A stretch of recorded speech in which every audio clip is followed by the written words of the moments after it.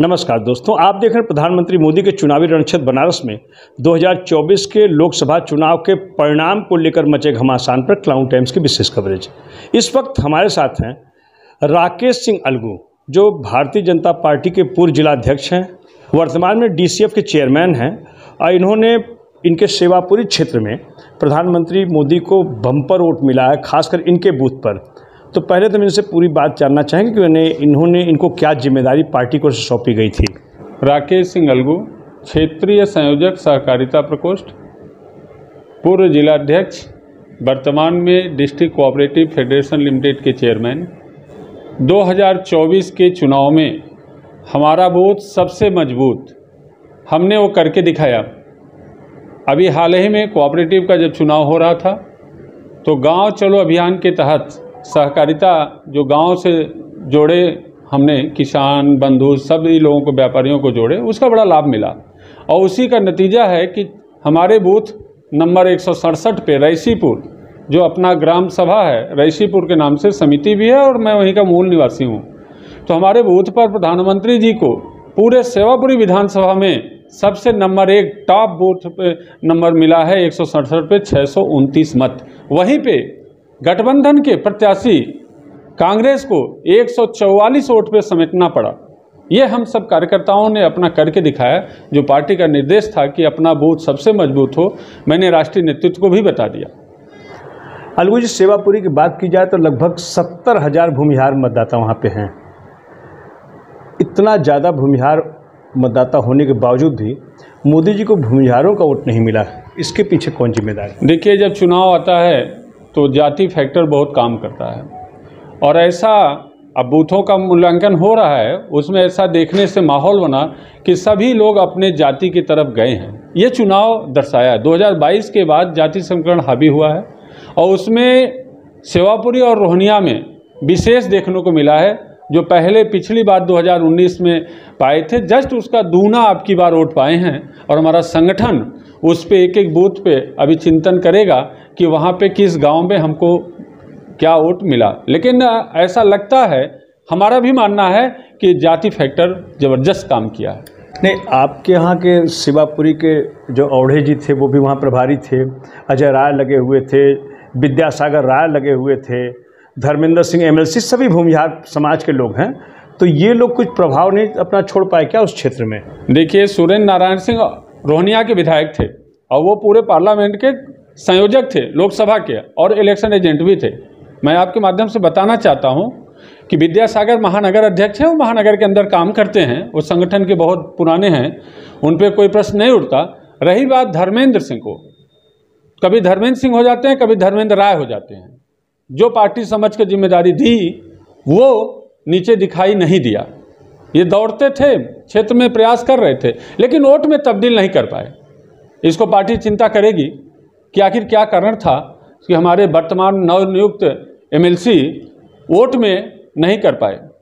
हम लोग तो वहीं के मूल निवासी हैं और वहाँ के जिला पंचायत अध्यक्ष पूर्व हैं, वर्तमान में उनकी पत्नी ब्लॉक प्रमुख हैं।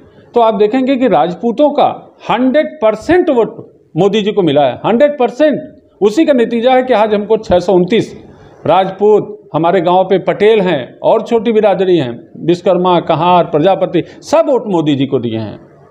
मात्र उन पड़ा जो एक उनके वो बिरादरी से ताल्लुकात रखते हैं उसमें भी हमने सेंध लगाने की कोशिश किया लेकिन अब संगठन अपना विचार कर रहा है। अभी हम बैठक करेंगे और देखेंगे कि हमको क्या क्यों नहीं मिला वोट। राकेश जी शहर उत्तरी के लोकप्रिय विधायक और उत्तर प्रदेश सरकार के मंत्री रविंद्र जायसवाल के साथ आपने क्या ज़िम्मेदारी निभाई और रविंद्र जी ने इस चुनाव को कैसे देखा?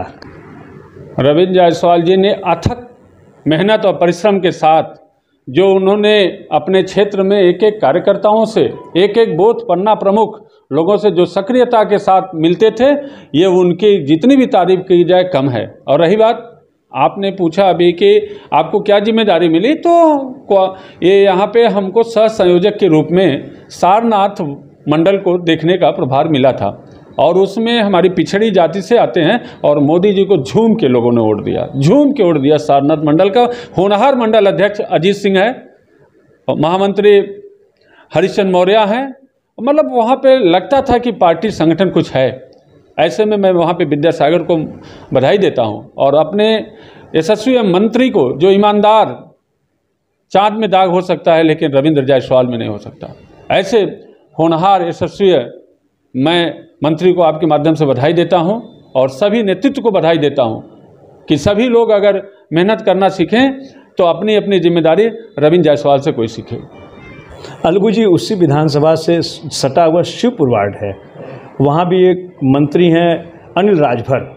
वो इस चुनाव में किस रूप से अपनी भूमिका अदा किया उन्होंने और उनके क्षेत्र में क्या रहा? देखिए वो चंदौली लोकसभा के अंतर्गत शिवपुर विधानसभा आता है। और माननीय मंत्री जी प्रयागराज के प्रभारी थे। अब उस क्षेत्र के बारे में हम सही ढंग से अवलोकन कर लें, तभी बता पाएँगे। बेहतर होगा कि वहाँ के संगठन के लोग हमारे जिलाध्यक्ष जी बता सकते हैं, या स्वयं मंत्री जी बता सकते हैं, या हमारे लोकसभा के प्रत्याशी आदरणीय महेंद्रनाथ पांडे जी थे, वो बता पाएँगे। मैं आपको बताना चाहता हूँ कि हमारी जो कोऑपरेटिव है, सहकारिता हमारे सचिव गृह मंत्री जी की जब से नया प्रदेश केंद्र में गठन हुआ है, सहकारिता हर बच्चे बच्चे के ज़ुबान पे सहकारिता का नाम आप सुन रहे होंगे। अभी तक यहाँ पे कोई हमारे पार्टी का जो मैं जिस पद पे जीत के आया हूँ, उसमें मैं संगठन को बधाई देता हूँ। जिन्होंने मेहनत करके आज कमल खिला है, पचास साल के बाद डीसीएफ का कोई चेयरमैन कभी हुआ ही नहीं था। ये भी हमारे कोऑपरेटिव और देश के गृह मंत्री और जेपीएस राठौर जी जो प्रदेश के होनहार और यही छात्र संघ बी के अध्यक्ष रहे हैं, उनकी देन है। और महानगर जिला अध्यक्ष, संगठन क्षेत्रीय अध्यक्ष की ये देन है कि आज हम वहाँ पे कोऑपरेटिव का। और मैंने कोऑपरेटिव के एक एक समिति के माध्यम से, आज जो मैं छः सौ उनतीस पाया हूँ, ये कोऑपरेटिव की देन है। मैं जखनी और सेवापुरी की बारह समितियाँ हैं। और बारह समितियों में मैं उत्तर प्रदेश का, जब सदस्यता करा रहे थे, हमारा चुनाव तो उत्तर प्रदेश में एक लिलुआई है। लेढ़ुआई राजा तो मिर्ज़ा मुराद के बगल में, वो समिति, उत्तर प्रदेश में अपना तीसरा स्थान प्राप्त किया है। ये सारा लेढ़ुआई समिति हमारी उत्तर प्रदेश में सदस्यता के मामले में रहा है। बनारस सैंतीस हज़ार सदस्य हुए हैं, उसका बड़ा लाभ हुआ। आने वाले कॉल, कल में और आपको मैं बता देना चाहता हूँ कि सहकारिता अभी और मज़बूत होकर उभरेगी, जो किसानों के लिए, जो प्रधानमंत्री जी ने पहला फंड रिलीज़ किया, किसान भाइयों के लिए, उसमें सहकारिता अपनी अहम भूमिका निभाएगी, अपने शीर्ष नेतृत्व और आपके माध्यम से प्रधानमंत्री को मैं चरणों में प्रणाम करता हूँ, और संगठन और माननीय जीपीएस राठौर जी, प्रदेश अध्यक्ष जी, नड्डा जी, सबको मैं आपके माध्यम से प्रणाम करता हूँ और धन्यवाद देता हूँ। मैं हम सब सहकारिता उनके लिए बहुत मजबूती से काम करेगा। इस आशय के साथ बहुत बहुत धन्यवाद।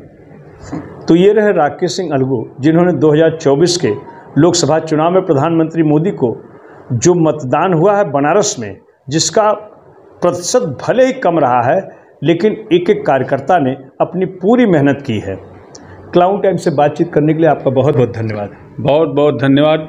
आपको फिर मिलेंगे जल्द ही मिलेंगे। धन्यवाद। क्लाउन टाइम्स यूट्यूब चैनल की खबरों को आगे भी देखने के लिए चैनल को लाइक करें सब्सक्राइब करें बेल आइकन को प्रेस ज़रूर करें। क्लाउन टाइम्स की खबरों को फेसबुक पेज पर देखने के लिए पेज को लाइक ज़रूर करें।